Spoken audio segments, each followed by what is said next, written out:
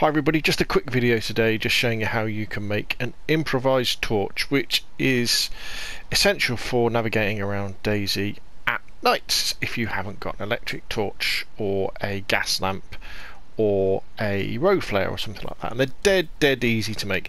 The only thing you need are some rags um, and then um, uh, a short stick or a long stick um, and then some way of lighting it, so matches um, or a wood drill. So let's go over, let's find a bush first. There's a bush, nice bush, not a tree, just a bush. Here we go, we have a nice bush. Now if, if you've got a knife out, you know, this will be a lot quicker. I'm just going to use my hands just to take apart the bush so we've now got our stick. Then all you need to do then is navigate to some rags or some bandages or some animal fat and then you press the combine button. So it's circle on the PlayStation uh, that would be B on the Xbox.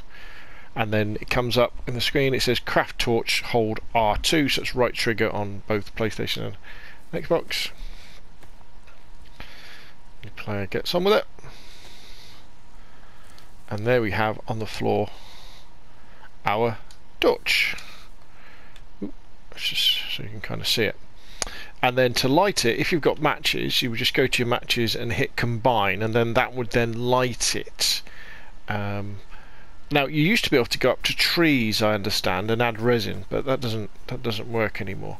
Now these generally last about five to ten minutes, but you can add more rags to them. So when I'm playing at night on, on a public server, um, and you know I haven't got a oh sorry at night on any sort of server just make sure you've got lots of rags with you you know never miss an opportunity to um, to cut up some rags and then so you've got them there to add to your torch um, obviously, bear in mind as well, they're very visible when you have one of these things, one of these things burning. So, as I say, you know, if I've got matches, we can just hit combine R2. Now, if it's raining, this isn't going to work.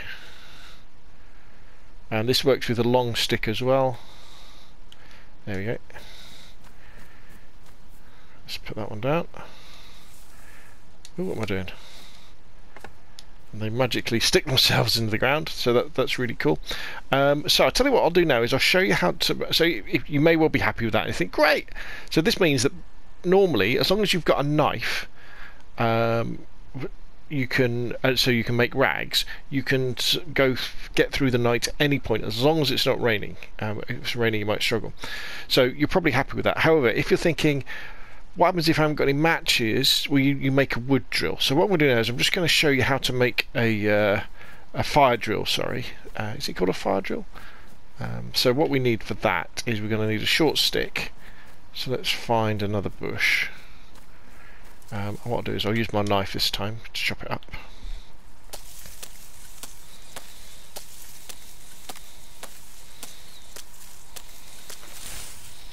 So we've got short sticks, let's put that away. And then the other thing we're going to need is some bark. Now this is where you must have something like a knife because you can't take scrape bark off a tree with your hands unfortunately.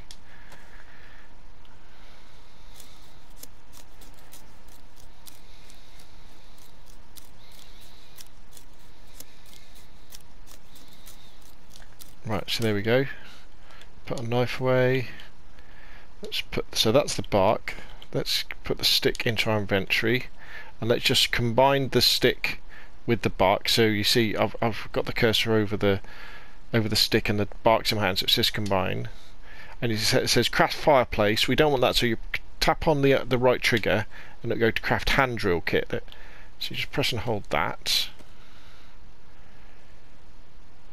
there go nice and fast let's put that in our inventory don't need that dark bark anymore. So let's go and get another stick from somewhere. This bush should give us a long stick, shouldn't it?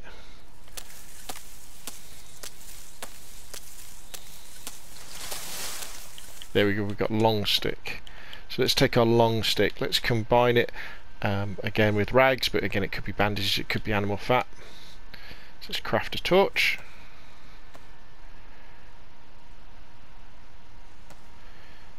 Then on the ground there's our torch. And then what we do is we then combine that with that rather odd looking thing there which is the hand drill kit. So combine R2 to ignite.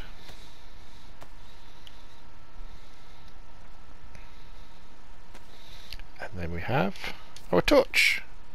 On a long stick this time. Have our other one's gone out oh one of them's still going. So let's put that there. And then say with this one we could add more rags to this if we wanted. Like is he gonna let me do it? Uh, which is the one that's oh yeah sorry. I was trying to add you can't add rags to the one that's lit. There we go. And then what we could do is we could then put those in our hands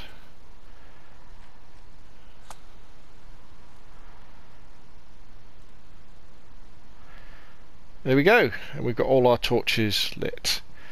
Now they're, they're brilliant. So as you can see, this means that again, uh, the problem I had, you see, is I got so used to playing on the private servers where um, I uh, it's basically daytime all the time that I'd never had to worry really about torches and stuff. And if I was going on public servers, if it was nighttime, I, sometimes I would just log off because you know, especially if I stream, it doesn't look that good, does it, at night?